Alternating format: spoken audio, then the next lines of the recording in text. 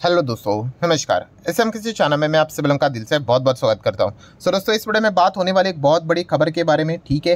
And RBI के ओर से हम लोग को ये एक्शन देखने को यहाँ पे मिल चुका है। जैसे कि संडे के दिन हमेशा मैं आप लोगों को बताता हूँ कि आरबीआई से भी ये अभी रिसेंटली कुछ ज़्यादा ही हम लोग को स्ट्रिक्ट होते हुए देखने को यहाँ पे मिल चुके हैं। एंड खास करके तो आर आते जाते बहुत सारे कंपनीज़ के और आरबीआई की ओर से हम लोग को रेस्ट्रिक्शंस देखने को यहाँ पे मिल रहे हैं। एंड वो भी बिज़नेस लेवल के रेस्ट्रिक्शंस एंड इन चीज़ों के चलते क्या हो रहा है? कंपनी के शेयर्स हम लोग को कोलैप्स होते हुए देखने को यहाँ पे मिल रहे हैं। बिकॉज़ अगर आपका बिज़नेस इंपैक्ट होगा तो आप सभी लोगों को पता है ये फॉर्मूला बहुत ही सिंपल है। कि आपका रेवेन्यू गिर जाता है रेवेन्यू गिरेगा तो आप लोगों का क्या हो जाएगा? रेवेन्यू गिरेगा। प्रॉफिट गिरेगा प्रॉफिट गिरेगा तो अर्निंग गिरेगा एंड अल्टीमेटली आपका शेयर प्राइस भी गिरेगा। तो ये चीज़ें हम लोग को देखने को मिल जाती है एंड ऐसा ही कुछ अभी एक और कंपनी के साथ हम लोग को होते हुए देखने को यहाँ पे मिल चुका है। अगर मैं रिसेंटली कुछ बड़े डेवलपमेंट्स की बात करूँ तो आप सभी लोगों को है, सबसे पहले तो जो शुरुआत यहाँ पे हुई थी, वो पेटीएम के साथ होते हुए देखने को मिली थी। पेटीएम तो पूरी तरीके से तबाही होते हुए देखने को मिल चुका है। पेटीएम पेमेंट बैंक की बात करें तो। देन उसके बाद आईएफएल फाइनेंस की बात करें तो उसका भी चार्ट पैटर्न आप देख सकते हैं, एकदम जोरदार तरीके से गिरा था। यस गोल्ड लोन नहीं न्यू गोल्ड लोन ये नहीं दे सकते करके एंड अगर ए के हिसाब से अगर देखा गया गोल्ड लोन सेगमेंट में ये सेकंड नंबर की कंपनी है। सो इतना बड़ा झटका इनको भी यहाँ पे लग गया, जो कि प्रॉफिटेबिलिटी में इनका काफ़ी बड़ा कॉन्ट्रीब्यूशन यहाँ पे देता था, बत्तीस परसेंट के आसपास। देन जे फाइनेंशियल के और भी रेस्ट्रिक्शन यहाँ पे डाल दिया। आप देख सकते हैं, ज़बरदस्त गिरावट हम लोग को देखने को मिल गई। ठीक है, काफ़ी सारे आरोप इनके ऊपर थे कि अभी का जो है, बहुत सारे आई देखने को मिल रहे हैं, खुद से सारी चीज़ों को मैनेज कर रहे करके, जो कि अलाउड नहीं होता है करके। एंड उसी के साथ साथ कोटक महिंद्रा बैंक की भी अगर हम लोग बात करें तो इनके ऊपर भी एक रेस्ट्रिक्शन यहाँ पे डाल दिया गया कि डिजिटली वे में ये नए कस्टमर को ऑनबोर्ड यहाँ पे नहीं कर सकते करके। एंड और भी अलग अलग रेस्ट्रिक्शन थे credit card and all that and उसके चलते स्टॉक यहाँ पे गिर गया। सो so, अगर हम लोग बात करें कुछ बहुत बड़े डेवलपमेंट्स देखने को मिले थे बिकॉज़ ऑफ़ आर स्ट्रिक्ट होते हुए देखने को मिला एंड उसके बाद राइट right नाउ एक और कंपनी के ऊपर हम लोग को सेम रेस्ट्रिक्शन आते हुए देखने को यहाँ पे मिल चुके हैं। सो डायरेक्टली कंपनी के ऊपर नहीं बट उनके जो सब्सिडरीज है, उनके ऊपर वो रेस्ट्रिक्शन आ चुके हैं। एंड कंपनी का नाम है दोस्तों इडलवाइज यस इडलवाइज ग्रुप की अगर हम लोग यहाँ पे बात करें दोस्तों तो इससे रिलेटेड काफ़ी सारे सब्सिडरीज आप लोगों को देखने को मिल जाती है। ये फाइनेंशियल सर्विस सेगमेंट में काम करने वाली कंपनी है। आपको पता ही है, इनके जो अगर आप प्रोडक्ट्स देखोगे तो बहुत सारी चीज़ों में कंपनी काम करती है। स्टॉक ब्रोकिंग में है इंश्योरेंस में मॉडगेज लोन में इन्वेस्टमेंट बैंकिंग हेज फंड की बात करें। रिस्क मैनेजमेंट की बात करें इन्वेस्टमेंट देन उसी के साथ साथ wealth management asset management mutual fund index fund fund मतलब बहुत सारे प्राइवेट इक्विटी से लेकर सारी चीज़ों में कंपनी काम करते हुए देखने को मिल जाती है। सो so डेफिनेटली काफ़ी पॉपुलर ये कंपनी देखने को मिल जाती है एंड इसी कंपनी के जो दिग्गज दो बड़े सब्सिडरीज देखने को मिल जाते हैं, उनके ऊपर आरबीआई का एक्शन देखने को मिल चुका है एंड इसी चीज़ के चलते स्टॉक हम लोगों को लगभग लगभग 12 परसेंट के करीब 11-12 परसेंट के करीब क्रैश होते हुए देखने को मिला। ये तो स्थिति अभी बहुत अच्छी सुधर गई, वरना तो स्टॉक लिटरली 17 परसेंट क्रैश हुआ था। इतना भयंकर गिरावट देखने को यहाँ पे मिला था। अगर आप देखोगे चार्ट पैटर्न के ऊपर भी आपको एक बहुत बड़ा डीप कट देखने को यहाँ पे मिल रहा है। तो कौन सी कंपनी की बात हो रही है? वही इडलवाइज फाइनेंशियल सर्विसेज़ लिमिटेड इस कंपनी की बात यहाँ पे हो रही है। सो अगर देखा गया तो आरबीआई का रिस्ट्रिक्शन हम लोग को देखने को मिल गया। ये देखिए Edelweiss financial services share seventeen fall ठीक है? क्यों? क्योंकि आरबीआई का एक्शन के चलते ऑन टू कंपनीज़ सो ये जो दो कंपनीज़ के ऊपर एक्शन लिया है, ये और कोई नहीं, ये इन्हीं के हम लोग को सब्सिडीज देखने को यहाँ पे मिल जाते हैं। सो कौन से कंपनी है? तो E C L finance and उसी के साथ साथ ई ए आर सी एल ये दो कंपनीज़ हम लोग को देखने को यहाँ पे मिल जाती है। इनके बिज़नेस के ऊपर क्या कर दिया? आरबीआई ने रेस्ट्रिक्शन डाल दिए हैं। ठीक है? बैन लाइफ टाइम बैन भी नहीं होता है बट रेस्ट्रिक्शन है। कब तक रेस्ट्रिक्शन रहेंगे? ऑब्वियसली जो जो चीज़ें उन्होंने रूल्स रेगुलेशन तोड़े होंगे, ठीक है? या फिर जो चीज़ें अलाउड नहीं होती, वो उन्होंने की होगी तो उससे रिलेटेड जो भी पेनल्टी होगी, उसको कंप्लीट करने के बाद क्या करेगा? आरबीआई वो रेस्ट्रिक्शन को हटा देगा।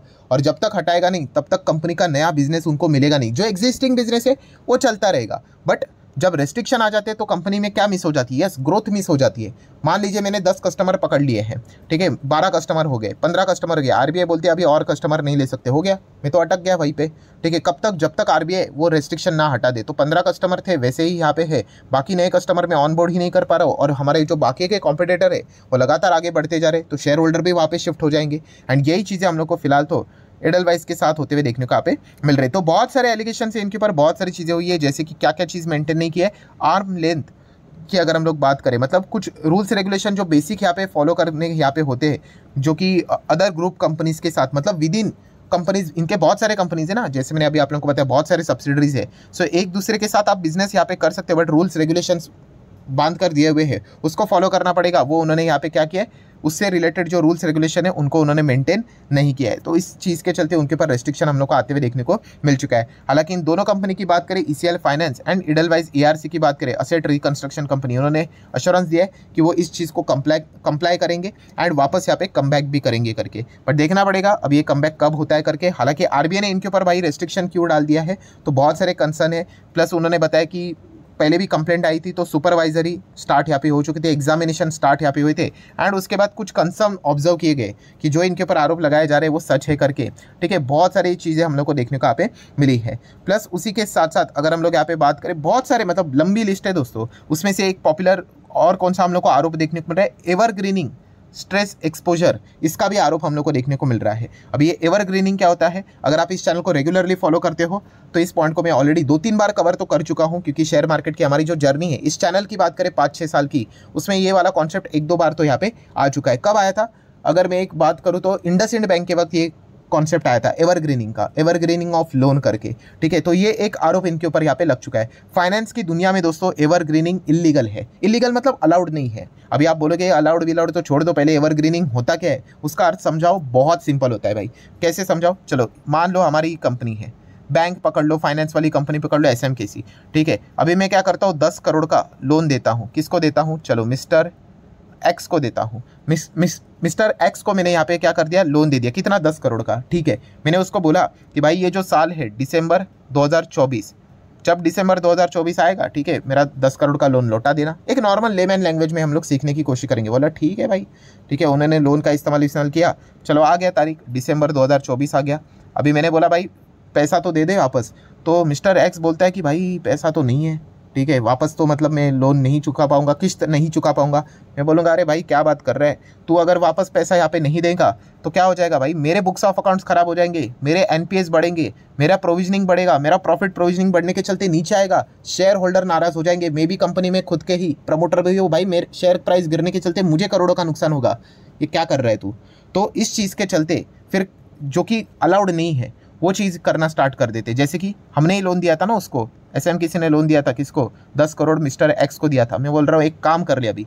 अभी एक और लोन ले ले, बीस करोड़ का ले ले, ठीक है? इसको दो साल के बाद चुका लेना। मैं बोला, अरे, नहीं चाहिए करके? अरे, नहीं, ले ले। दो दो से तीन साल के बाद इसको चुका लेना। किस, कितना? बीस करोड़ का। और इस बीस करोड़ में से दस करोड़ का जो लोन है ना, इसको वो वापस मुझे दे दे करके, कि दस करोड़ का लोन चुका लिया करके। आप समझ रहे हो मतलब?